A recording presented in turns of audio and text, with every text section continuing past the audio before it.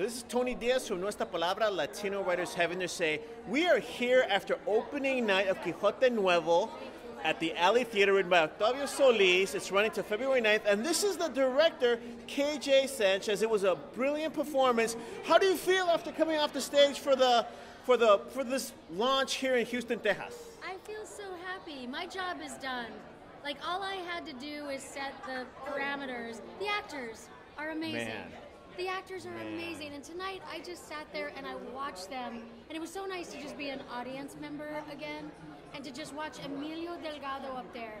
The biggest heart Man. ever. Just such a performer. Just like he gets on stage and the whole audience is in his pocket.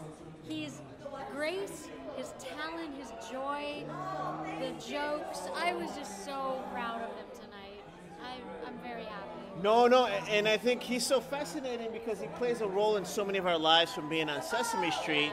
But on stage, he's his own person, his own actor, no? Oh yeah, he's uh, you know Luis never could be rough or rugged or have like scatological humor. He had to be pretty uptight. And Emilio is kind of letting his hair down with this and doing everything, making us laugh, cry. on stage ponder. for the whole show, making us laugh, making us cry, doing fights, falling to the ground, Yeah. getting back up, riding a bicycle, just singing. Yeah. Oh my God, the audience had a they. Oh, the they audience- had them in his lap. Oh yeah, the audience ate it Uh, because we get it. It's del corazon, and I think even if you're not from our cultural background, you're gonna You recognize you it. recognize if you it. live in Houston, you totally It- it- recognize exactly. Now, speaking of that, so this started off like in non-Tejano territory. Yeah. So this has got to be a different. It did. It started. the- It started in California, and then it went to Connecticut. ¿Dónde? Connecticut.